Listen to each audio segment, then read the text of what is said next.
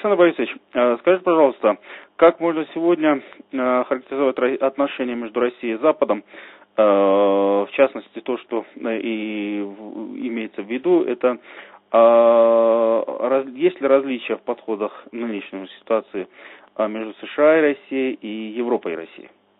Ну, если говорить честно, я бы в настоящий момент не отделял э, европейскую элиту от элиты американской, позицию европейскую от позиции американской, потому что в настоящий момент все сколько-нибудь независимые и европейски ориентированные персоны из э, политики Евросоюза фактически выбиты, э, выбиты Соединенными Штатами Америки, которые провели селекцию европейской элиты, и осталось только, э, соответственно, Э, у рычагов управления, как сказать, подконтрольные, послушные, э, послушные фигуры. Поэтому, в общем-то, э, участие в минских переговоров Оланда и Меркеля, в общем-то, не было участием европейских политиков, а было участием американских спецпредставителей. Недаром, в общем-то, после промежуточных переговоров с Владимиром Путиным Меркель поехал в Вашингтон согласовывать позицию с администрацией Барака Обамы.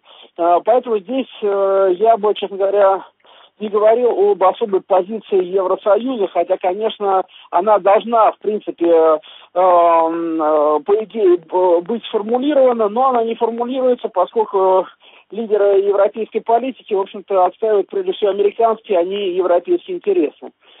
Э, поэтому я бы рассматривал переговоры, которые состоялись в Минске, скорее как э, российско-американские. В этой ситуации, э, скажем, у американцев была явная заинтересованность в том, чтобы прекратить конфликт или хотя бы его заморозить на условиях на своих условиях. Недаром накануне переговоров Барак Обама лично звонил Владимиру Путину и, в общем-то, транслировал весьма, скажем, не завуалированная угроза в ее адрес, да, а, относительно того, что если Россия не будет способствовать подписанию мер, Минских мирных соглашений, то, то э, Соединенные Штаты Америки заставят ее пожалеть об этом.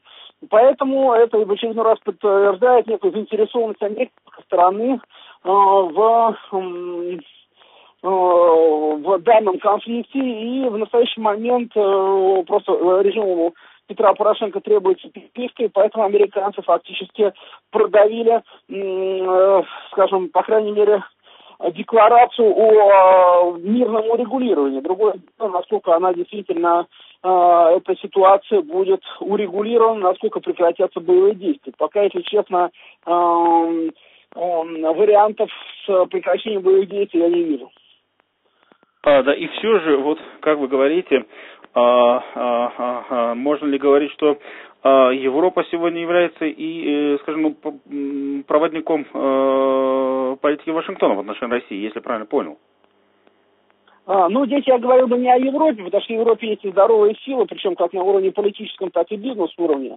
Но они оттеснены на второй план. А, что касается ведущих европейских лидеров, а, то они действительно отражают э, позицию прежде всего Вашингтона, а не Брюсселя. А, и э, тем более не своих национальных государств, потому что все более-менее независимые фигуры, да, вроде Берлускони, э, Ширака, Шредера и даже Саркози, в общем-то, были вытеснены некоторых, в общем-то, выбивали в европейской политике со скандалом, когда, допустим, это было с Берлускони или же с кандидатом президента Франции, ну, фактическим кандидатом президента Франции, с Домиником Стросканом. Э, которому, в общем-то, организовали фактически такую провокацию большую. Э, поэтому э, здесь я бы сейчас нынешних европейских политиков, как бы европейских географически, не считал бы людьми европейскими с политической точки зрения. Знаете, здесь такой вопрос. Если то, что же касается Европы и отношений с Европой, то мне всегда вот в этой ситуации да, напоминается то, какую, какую работу проделывала Россия, а особенно в первые, первые два периода президентства Путина, э, когда уже вот, ну, были, были созданы определенные комитеты по работе, по разработке дорожных карт, да, различных дорожных карт развития этих отношений. Можно ли говорить, что все это сегодня кануло в лету? А, ну, в полной мере, конечно, говорить нельзя, потому что есть у России с Европой объективные экономические интересы в взаимодействии. А, другое дело, что, как мне кажется, российское руководство опрометчиво сделав ставку исключительно на экономический интерес, на рационализацию, собственно, взаимных э, двусторонних отношений то время как э, Вашингтон работал на политической арене, на политическом уровне и зачищал неугодных себе политиков. Мы же в этой ситуации э, предпочитали как бы не вмешиваться в политическую в, в политическую жизнь э, Евросоюза, а предпочитали э, выстраивать там рационально-прагматичные отношения, но потом, как выяснилось, э, в общем-то, политики навязали свою бизнесу. И в настоящий момент европейский бизнес, хотя и терпит убытки от санкций и контрсанкций, да, тем не менее вынужден подчиняться, потому что ну, как сказать, политики имеют рычаги административного э, давления на предпринимательские структуры, и, в общем-то, их достаточно жестко э, давят на предмет э, ужесточения на их отношения к Российской Федерации. И здесь, если можно вот такое предпринимать такое ну, скажем, такой э, термин, наверное, он очень, может быть, преувеличен, но и, и, видите ли вы попытки, ну, я скажу так лучше, видите ли вы попытки страны Вашингтона э, окончательно выдавить Россию из, из, из Европы или порвать ее отношения с западноевропейскими странами, ну, своего рода такое соперничество с Россией? Угу.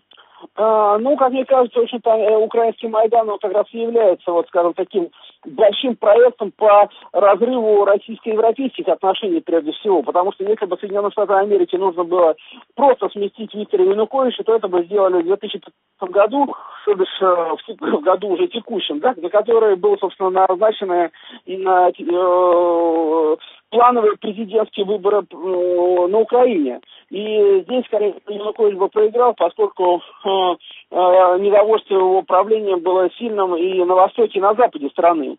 А, то есть э, он почти откровенно проигрывал, причем проигрывал вполне прозападному кандидату. Тем не менее, Соединенные Штаты Америки фактически сломали Януковича через колено. И это был прямой вызов России, на который она не могла ответить. И этим ответом стал Крым. Ну, в свою очередь, это американцы использовали для того, чтобы развернуть такую антироссийскую истерию в Европе для того, чтобы запугать европейцев вот неким таким поднимающимся из берлоги русским медведем, который сейчас всех порвет.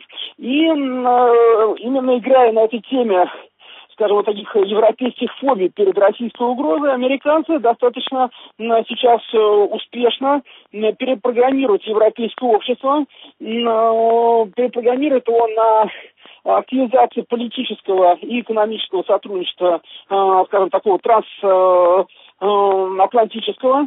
Более того, сейчас Соединенные Штаты Америки проводят жизнь плана трансатлантического экономического партнерства, которое предполагает фактически поглощение европейской экономики американскими крупными компаниями. При, да еще при том, э, при таких условиях, что, в общем-то, национальные правительства не смогут даже вмешиваться в деятельность этих компаний.